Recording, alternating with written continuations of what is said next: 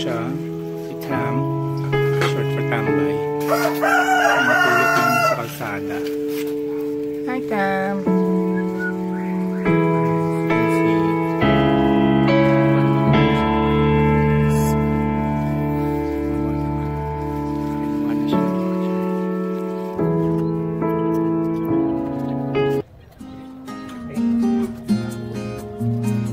thank you